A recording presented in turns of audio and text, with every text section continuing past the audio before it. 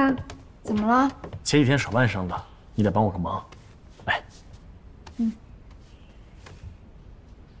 你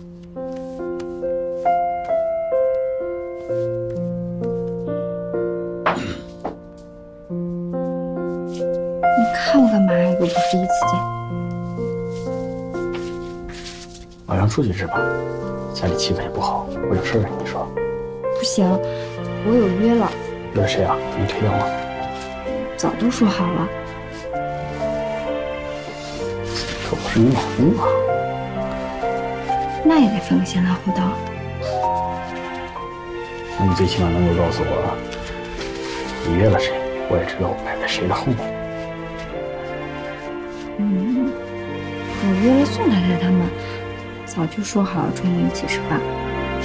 那好吧，那我就排在他的后面。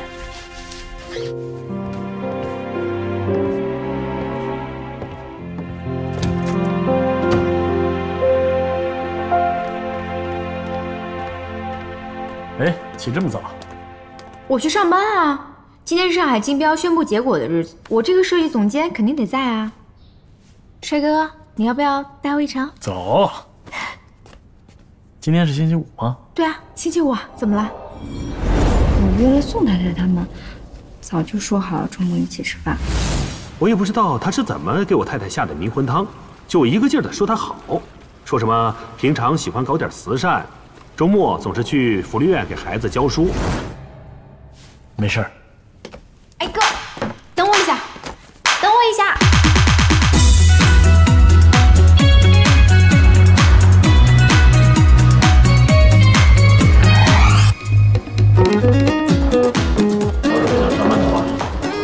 给你放假，出去旅游散散心吧。我不放假。张总。一会儿设计院也会来人，你不怕是陈鼎生？我怕他干嘛？我又没对不起他。再说了，公是公，私是私。难道陈鼎生不喜欢我，我还不上班了？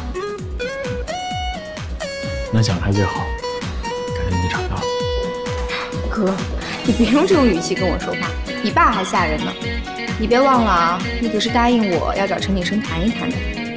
在这之前呢，我也答应你，尽量不耍小。真乖，这么多人呢。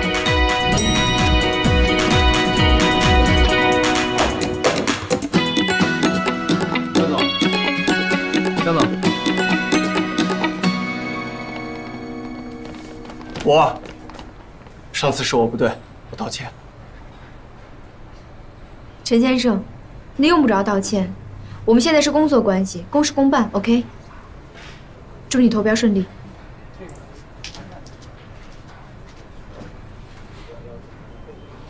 哥们儿，什么情况？咱们不会被出局了吧？没事。谢谢你啊，帮我联系徐教授，要不然的话，孩子转院肯定不能这么顺利。跟我客气什么？虽然秦因素不招人待见，但孩子是无辜的，这忙我必须帮。谢谢啦。啊，对了，还有一件事情要麻烦你，这个药你得帮我化验一下成分。没问题。你怎么了？怎么开始吃药了？这药不是我吃的，我回头再给你解释吧。我今天该给福利院的孩子上课了，先走了。去吧，去吧。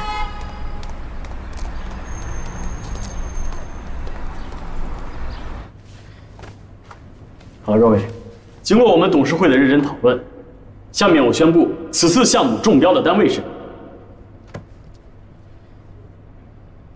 海华设计事务所。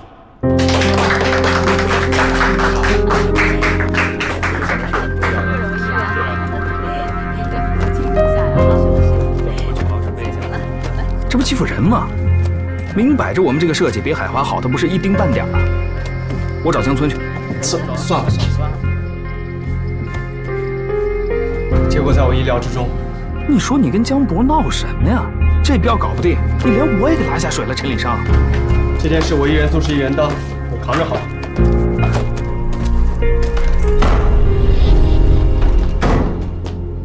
又不敲门怎么？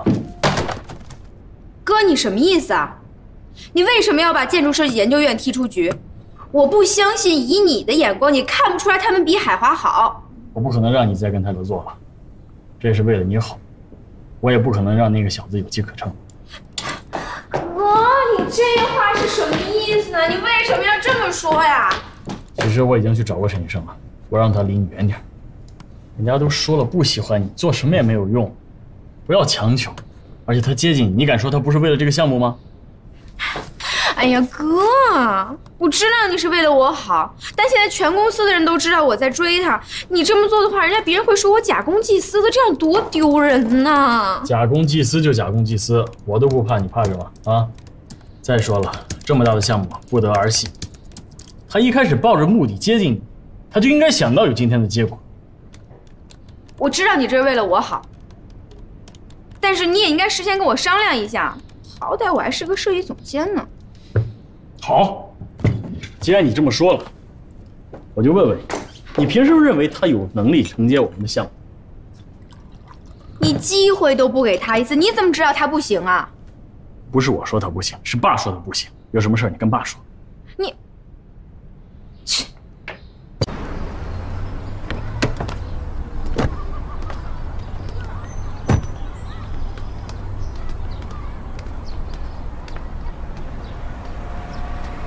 想起来来这福利院了？那天宋贤在海边说的话你都忘了，你不觉得奇怪吗？你说秦英素当老师，我也觉得奇怪。我以前啊，只听说过这秦英素逛街喝茶刷卡消费，还不知道她可以教书育人呢。世界变化的太快了，进去看看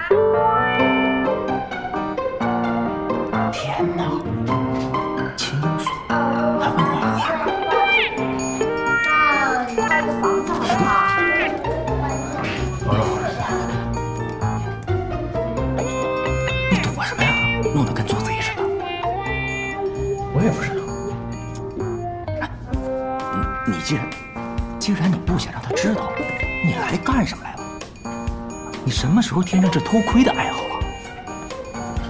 小点声。怎么说你也是江家的大少爷是不是？地产公司的老板，你说你拉着我跟踪你老婆，不是？你现在玩的什么花样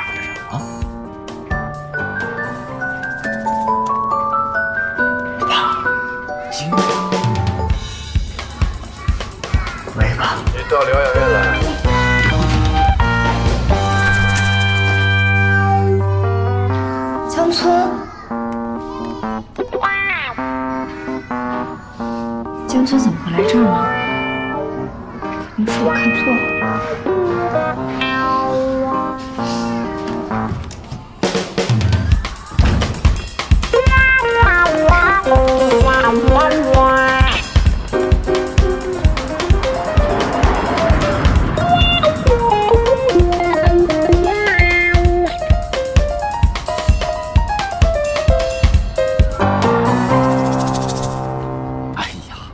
我说你跑什么呀，跟做贼似的，让秦英素看见了更好。你这等于是老公来探老婆的班，对不对？顺便问问他，怎么就转了性了？他这样我都有点不认识他。别说是你了，我都觉得奇怪。这变化也太大了。那你就更应该当面问清楚，顺便好好夸一夸你老婆。我觉得他从医院出来好像变了一个人，他到底想干什么？你觉得他是变好了呢，还是变坏了？嗯，哎，你不用回答我，你自己知道就行了。走吧，去哪儿？爸还找我。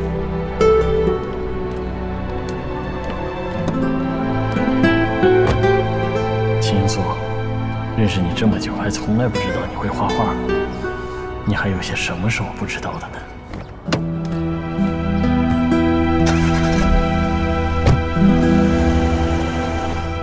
哎呦呦呦呦呦！我说小姑奶奶，你不能只浇这两盆，把它给浇死了。哎呀，爸，别的也浇一下你。别老指挥了，我都不知道该浇哪个了。来来，你你你这个，来来，陪陪点就好啊。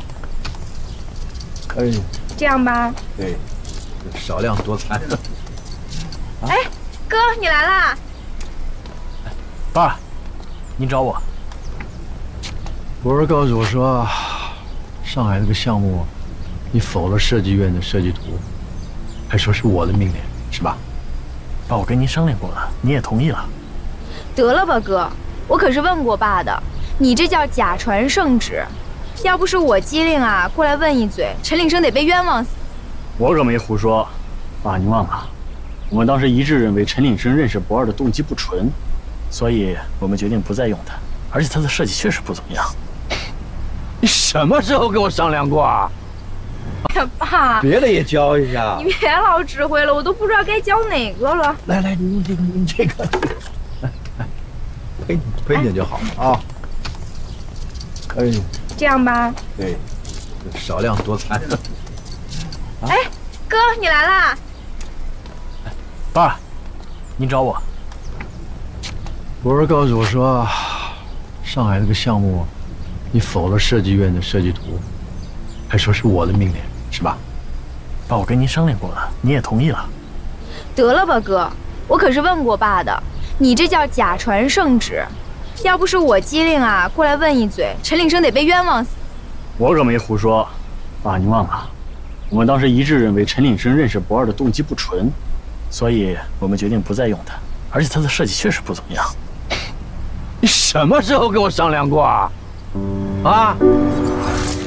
说这陈景山仗着自己有才华，有点小成绩，就欺负博儿，这人不能用。爸，你给我想到一起去了，而且我认为这次陈景生的方案并不出色，所以我建议这次安排他出去。嗯，听你的，这事儿你看着办吧。这可太好了，本来那个陈景生啊就配不上博儿。哎呀，以波儿的性子啊，只要不见面，过几天他就忘了。二姨说的没错，这事儿你看着办啊。只有一点，别让博儿别受委屈了啊！不是，你真当我老糊涂啊？啊，爸，我告诉你啊，事情啊一码归一码，陈岭生人品怎么样有待考察，但上海的项目你得给我严格执行啊！博儿已经把设计院的设计图给我看过了，虽然没有达到我们的要求，但也比你选的那一家不知道强多少倍。我答应博儿了，给设计院再一次投稿的机会。啊，爸，您不能还要说吗？啊，您是忘了吧？我忘了还是你忘了？阿姨，爸和我哥，安阿姨也在。哎，安阿姨，您说，那天正好我跟爸商量陈岭生的事儿的时候，您也在，你帮我说说。哎，江村，你爸说没有，就是没有，别惹你爸生气啊。就是啊，哥，陈岭生怎么惹你了？你这么看不上他？而且再说了，爸已经明确给出要给陈岭生一次机会，你这么做什么意思啊？我这是为谁啊？对，你是为了我好。如果你要是真想为了我好的话，你就不要再参与我跟陈岭生的事情了。不求你能帮我，不回我就不错。行，以后如果陈岭生再出什么事儿，你不要再拿绝食来威胁别人，可以吗？哎，哥波儿，你绝食啊？没有，爸，我跟哥开玩笑呢，闹着玩的。哎呀，对呀，博儿这个脾气，他就是开玩笑。博儿，以后不许这样闹了啊！嗯，知道了吧？你快喝药吧。永志，事儿就照我刚刚说那个办，啊，以后不要拿我当枪使了。怎么？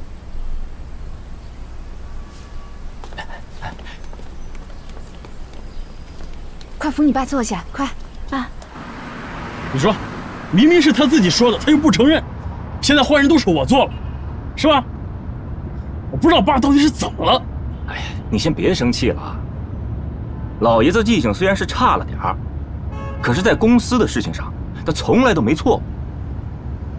你说他这次到底是怎么了？这安阿姨也真是的，真是奇了怪了，不管说什么他都听。哎哎哎哎，那也不能怪安阿姨，安阿姨是老爷子请回来的，老爷子现在身体都靠她照顾着呢。你说她不听老爷子的，难不成听你的？我是理解安阿姨的，不过我确实不理解爸，你这到底什么意思？哎，哼，你说你啊，一个老婆。一个老爸，这一个比一个反复无常。你说你上辈子是不是欠他们？你少烦我！我告诉你，